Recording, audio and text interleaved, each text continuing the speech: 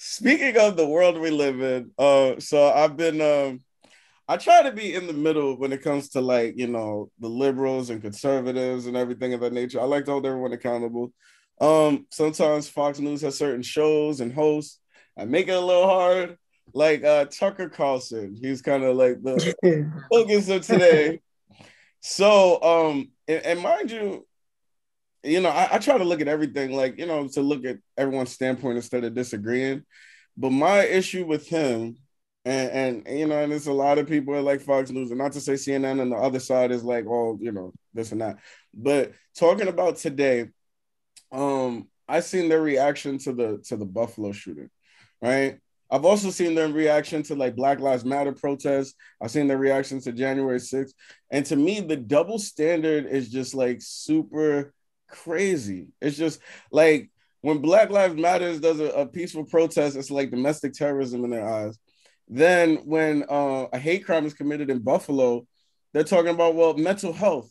We, need, we don't need to talk about hate crimes. We need to talk about mental health and this and, and that. And so I'm he did it again. I'm basically Yo. like, well, okay, because y'all separating these two things. So is there anybody that can commit hate crime that doesn't have mental health? And then, you know, that's when they really are the thing. I'm like, but y'all keep separating these things. Like, we're ignoring that this was a hate crime. But then, anytime like Black Lives Matter or, or a different nationality is standing up, terrorists trying to be heard, it's like, oh, they're domestic terrorists. Oh, they're doing too much. Oh, they're complaining about this too much and they need to go and do that. But then it's like, no, we, we shouldn't judge them like that. But when when the, when the hate crime happens from you know a, a Caucasian person, it's like, well, mental health. We really need to look at mental health, this and that. And I literally put on my YouTube channel where it's like a video of him talking about both topics, like this, just like crazy and this and that. And I'm going back and forth in the comment section with Fox News. And I don't like to argue. I like to ask questions and, and just spark people to think for themselves. Let's not just follow the programming. That's on all news stations. Let's think for ourselves. So I asked them you know, like certain questions that's like, well, why why is it when this happens, everyone's ignoring the fact of the hate crime that actually took place? Nobody in the comment section is talking about the hate crime. Y'all talking about y'all talk about Biden's administration sent somebody to go do this so the Democrats look better. Which look, I don't put nothing past anybody, but if you don't have proof, let's talk about the facts first. You know what I'm saying? Before we dive into these theories, you know what I mean? Let's address the facts. And then the comment section is like, nobody's ignoring that. And I was like, this video has over a million views and like over 50,000 comments. How many condolences or prayers have you seen for the families that were lost? He did the same thing for he did the same thing for the Texas shooting. He brought he the school shooting brought up the mental health aspect again. Yeah, like he he brought up the mental health aspect again, and then he has the nerve to sit there say, Am I the only one that's noticing this? Yes, mm. Tucker, yes, you are the only one, bro. and because their biggest thing is they're concerned about more gun laws, which in Texas is crazy. It's harder to get a driver's license than to get a gun. To me, is is bananas. Harder to um, vote than to get a gun. Yeah, harder to harder to vote. You're you're definitely God given right, right? And to me, it, it's just like bananas oh, that they will be like their biggest thing is like, well, criminals are criminals. They're gonna break the laws. So why you're trying to pass more laws? But then with something else, it's like, oh yeah, I need the laws. These people are against the police. That yo, if and then I asked this question. I said, yeah. yet. I said, well, if criminals are just gonna break the laws and laws don't prevent more criminal activity, why do we have any laws? Maybe we should just get rid of every law? Question mark. It, no response. Was, I I think what's so interesting is uh when when the Supreme Court uh when Politico leaked the draft from the Supreme Court uh about Roe v. Wade, right? Mm-hmm. Um and protests were like sprung up, you know, in DC and then uh, protesters started started sorry started protesters started showing up at like Supreme Court justices' homes like they acted super quick to like protect them and that was just protests, like picketing. And mm. then you have actual gun violence happening at schools, at hospitals, at churches all over the country and nothing is being done about it. And it's it speaks volumes as to where like the priorities of that that our government has and it's like money over people you know Mm-hmm. Mm-hmm.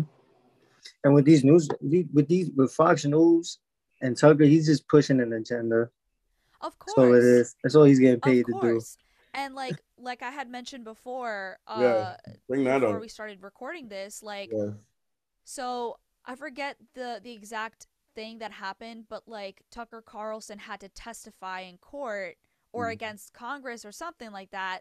And he had to say that like his show is entertainment. Like it's not news. Yeah.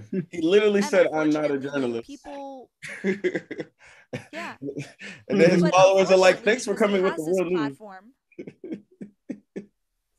like like what and their cronies like they they're all really successful in doing is like making shit up and then people just like eat it up you know like they just they're unapologetic in how they lie and not saying that democrats don't lie but it it's just they're like democrats will eat their own you know there's there's there's accountability but there's also like like it, it, it they end up shooting themselves in the foot um Yeah. Yeah. Oh, yeah, and, and I- Yeah, that's and, what's like- kind of yeah. No, I agree with that because like even I- on i'm done with my point yeah No, because even like on liberal media, they're making fun of Joe Biden right now, and you know, Sleepy Joe and stuff like that. You know, but it's like my thing is like, my thing is just like, why, you know, and especially it seems to happen from the other side. I mean, and both sides have happened to doing, but why do you have to act like your the side is perfect? Like we can all, just hold our sides accountable, whatever we agree with. You know what I mean? Because I am a person that loves to hear both sides. That's why I'm always going to tune into Fox News because I want to hear the opposite of what, what this side is saying. I want to understand the perspective. I want to be able to build a dialogue with these people, see if we can come to an understanding or if we just agree to disagree. You know what I mean? right And my thing is like, why do we have to act like somebody's so perfect and we don't hold them accountable? And that's where y'all lose me. Mm-hmm. Because when y'all can't hold the side accountable and just act like, Mhm. oh, you know, well, we can't act like they did one thing wrong, otherwise they're gonna come down on. No, just hold it accountable. Nobody's perfect. I can rock Mhm. with you if you'd be like, yo, both sides are messing up here. This is what we need to do. I don't hear none of these sides talk about we all need to work together as Americans and this and that. And, right and just when the narrative changes yeah and it's a mental health thing, it, it really it, it throws me off because I see a lot of minorities in, in prison over jail, and then when they're not minorities, they bring up mental health. When it's minorities, it's like, yo, they need to be locked up. These are criminals. When it's someone else, it's like, yo, they need they need the proper help and understanding. Listen, I have no problem with mental health. Then Yeah. everybody needs the mental health. You know what I mean? But one group can be criminals for the same thing, and one they just need a little more understanding and, and, and mental health. And this and that, you know? Nah, there's no understanding for that. There's just none. And he he wants to sit there and push a narrative to have people be on the same boat as him. To sit there and try to find an understanding for somebody walking into a school and gunning down young children, or walking into, you know, a, a grocery store and killing everybody that's mainly black, and sit here and say it's a mental health issue. That mm-hmm. just this doesn't make no sense, Yeah, they are crazy. It is mental health, but let's not ignore what, what's happening and what's fueling these things. Mhm. Because a lot of people that are defending it yeah are also the same people that are fueling it. You know what I Mhm. mean? Hey, I, that's a whole nother episode where we start talking critical race theory, and yeah we don't want to teach actual factual history. Like, yo, like, come on, what, what do y'all think y'all fueling? Y'all don't, yeah, we don't even want to have a conversation about facts and history. Like, but right Mm-hmm. Yeah, and the other thing is like being mentally ill, being neurodivergent or neurotypical, like that doesn't excuse you from being an asshole. mhm. You know, like you can have you can have these issues, but that doesn't mean that it, you get a carte blanche to like just go gung ho on people. You know, like there there has to be accountability. Mhm. Mhm. Sure. For sure. And where are the parents that are raising like- these children like- to do this? buying the Yeah, yeah, like. Like where are the you get where are called the out parents? on Because that's the first thing that comes to my head when I see an 18 year old do something like this. Where where at the guns. what'd you say? At the, at the gun store. At the gun store? store. Yeah. The kids ain't buying them. They just buy the guns, and the kids get the guns, and they do what they do. I mean, it's that's how it is. Like, Mm-hmm. I guess we'll Yeah. find out. yeah, I guess we'll find out, out about like the um oh man, what's the name of the town that this happened in uh, two days ago? Something Uh, with a U, and I don't remember anymore. But I know it's knows- Texas. yeah, it was somewhere in. Texas. But like, who knows? Like how? I mean, I learned today that bought a gun. Uvalde? Huh? I don't even know how to say this word. Uvalde, Uvalde school shooting. U- Uvalde, U V A D L E. You battle? school. Yeah, Uvalde, Wait. Texas. I, I don't know how to say the word, but yeah, it's Um, saying Uvalde, Texas. Yeah, uh this kid like the day so I learned this morning like the day like on his birthday, on his 18th birthday, he bought a gun. Like he went and he bought a gun. What they haven't figured out yet, like they can speculate is whether the weapons he bought on that day he went to like you know open fire at the school and he went in like tactical gear. So when the when the cops came, yeah, when the police came to like shoot at him, they they couldn't get him, and it's the same thing that happened in Buffalo. Like that other shooter, he arrived in tactical gear. Like these, this is premeditated, you know, and and it's incredibly upsetting that like these these things keep happening, and like our elected officials are not doing enough. You know, like I get the whole Second Amendment rights and stuff, but like the reality is when there is a gun in the home, you know, there is a higher likelihood of that gun being used. And who knows if this kid was in an environment where he had that available to him.